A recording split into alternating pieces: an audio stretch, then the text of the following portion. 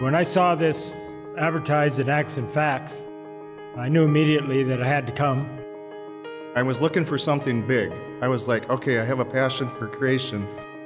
I have been really blessed by ICR over the years. To be honest with you, if you asked me the day I arrived what we were going to do during the conference, I probably couldn't have remembered that we were going to dig for crystals and diamonds. That's not why I came.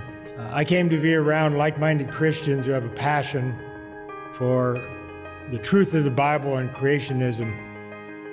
There's these little moments, and just looking for the diamonds today. And it's like, well, that's not always the big things, it's just being faithful.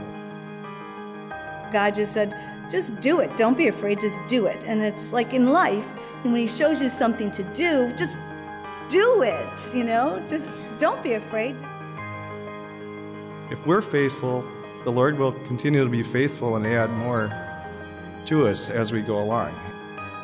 To be here and, and actually face to face and get to ask questions and everything, I just, it was wonderful. So I don't care where you go. You can go to Florida, you can go to Alaska, you can go to North Dakota, I don't care. Uh, I'll be here next time.